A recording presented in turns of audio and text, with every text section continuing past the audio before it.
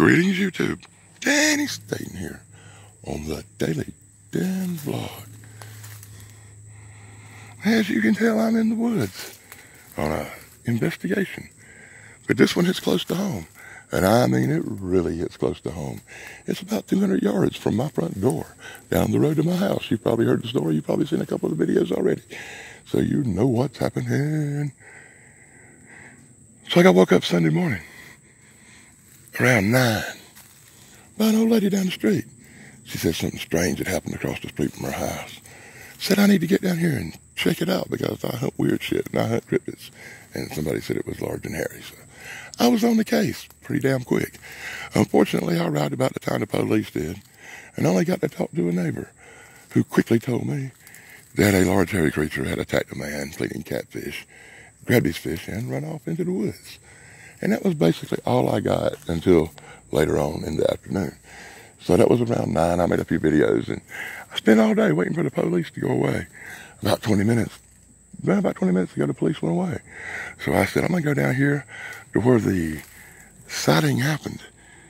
And I'm going to take a look in the woods and see if I can find anything to prove or disprove what this man says.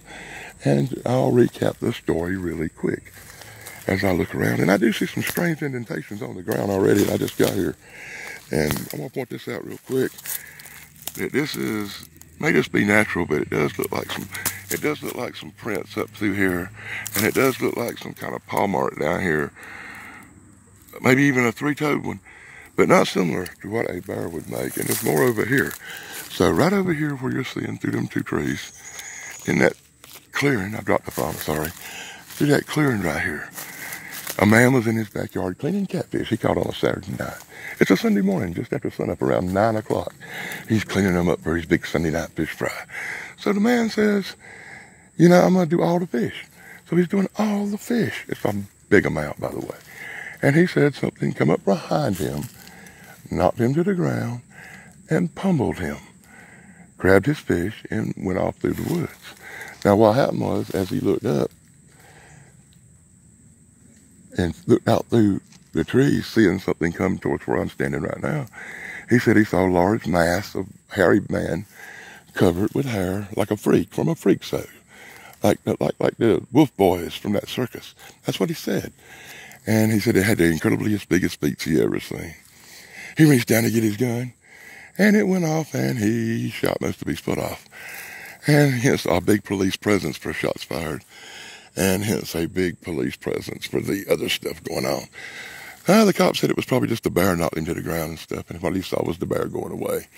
And they wrote it up that way, apparently. It's just an animal attack and an accident.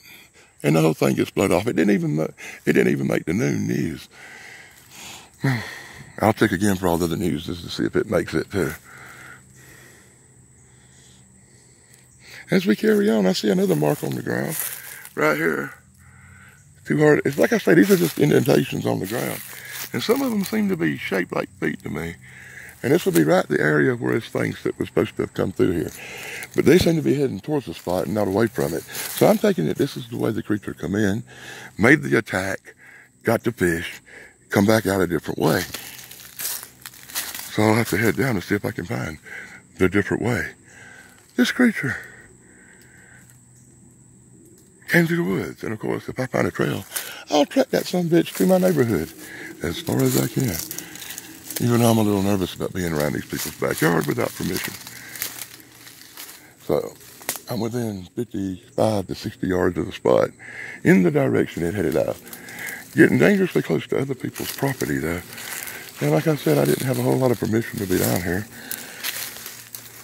I'm looking for that spot. You'll be able to tell that spot where it came through when you see it. I've learned from listening to the shows. And I think I have it. I think I have it. I think I have it. Yep. Right through here, it's clear, so about eight or nine feet, right in the direction of where the attack occurred. And it's like something big was made to walk through there. And you can see the bent down and broke down limbs where the path has been cleared right in the middle of the screen. See, right there. And then it leads out of the trail here, where I am. And you can see where something's ruffled through here. And it heads out in that direction towards that clearing. Which on a Sunday morning, I know them people probably would be in church. Because I'm the only one around here that don't tend to go to church on a Sunday morning. Maybe some people up the street, apparently.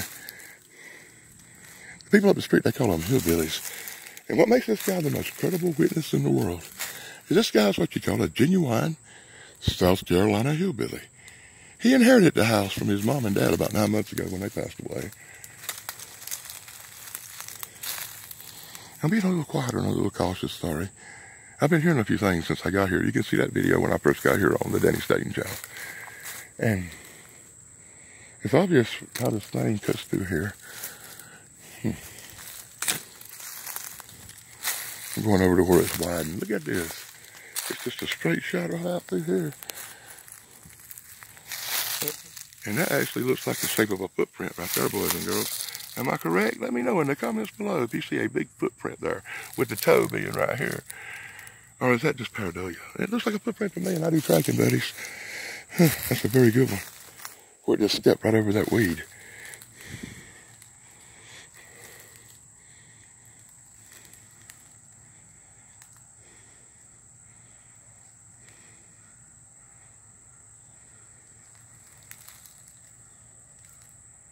swear I keep hearing some noises up in these woods.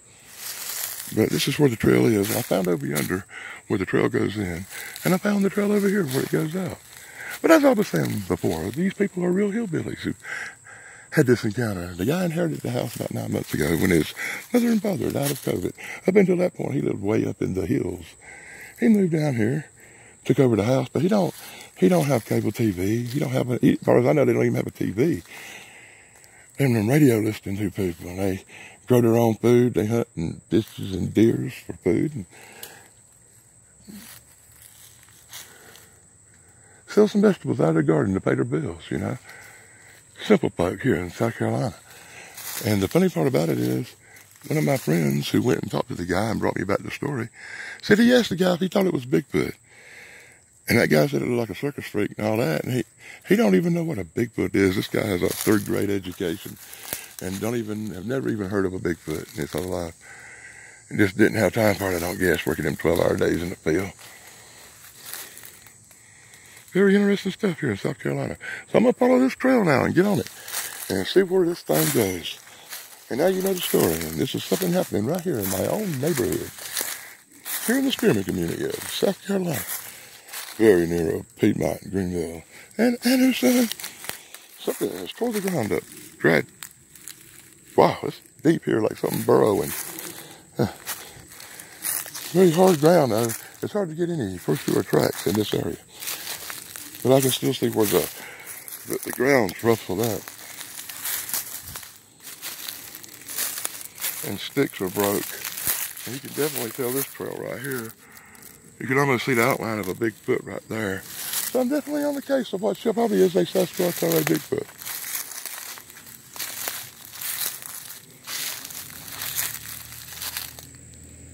I saw strange vehicles driving by.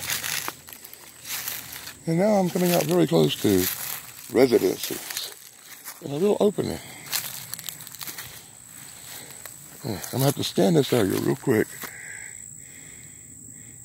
And what I'm looking for is the beat down ground, the trail. And I think I see it. Sticking out a little bit it is. Do you see that YouTube? The trail for something big has passed right through this area, right here, and beat down the ground and headed, huh, let's see if I can zoom in on it real good. I hear a lot of traffic. Very interesting stuff. You don't hear or see nothing, and then you come out here making a video and stuff, and then all of a sudden you get to see all kind of stuff. Anyway, you can see the beat down trail right here. It runs this way. It runs straight in a straight direction through that area, through them big trees down there, and into some more deep, dark, dank woods located across the road over there. Now, if it come through here at, let's say, 8.30 in the morning, Most people already left for church or still in bed. It's, it could have went right down through here toting a, toting a, a bunch of catfish and not be seen. And I did find what looked like some big cracks. Let me know in the comments below if you thought them were big cracks. If you join me on the Danny Staton channel, I'm going to track this sucker on out here on the Danny Staton channel. Find out where it goes. Check it out. I'm going to do a little recon first. And then um, I'm going to hit them other woods and see if I can find a trail and see where this bastard went. Be sure to like, subscribe, and ring the bell for Daily Dan. I was seeing what was passing me by. Uh, be sure to like, subscribe, and ring the bell for Daily Dan. And until next time, this is Danny Staton on the Daily Dan blog. In the woods on a Bigfoot investigation, I guess. Right here near my house, 200 yards away. In my neighborhood where something's always going on. Till next time, blog over.